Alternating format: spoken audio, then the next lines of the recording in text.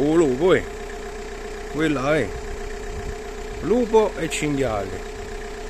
Un lupo e tre cinghiali, protagonisti di questo video realizzato nella prima mattinata di oggi in zona Salicuneta tra Pattano di Vallo e Castelnuovo Cilento. Un incontro particolare, ma che ormai è sempre più frequente, fatto da un cittadino del posto che, mentre si stava recando al lavoro vicino al fiume, ha avvistato i cinghiali a poca distanza, sempre nelle vicinanze del corso d'acqua, un lupo. Nelle immagini si può notare l'animale che curiosamente si avvicina all'autore del video. L'uomo giustamente è stato colto di sorpresa da questo singolare incontro ravvicinato. In uno studio pubblicato dal WWF in questi ultimi anni si parla proprio di avvistamenti tra lupi ed esseri umani e il WWF conferma che i lupi evitano gli esseri umani e non rappresentano un pericolo per l'incolumità delle persone. Negli ultimi anni però sono aumentati esponenzialmente gli avvistamenti di animali selvatici sul territorio cilentano, ma quello che ci chiediamo noi è qual è la causa che fa sì che questi incontri con lupi, cinghiali ed altri animali selvatici stiano diventando sempre più frequenti.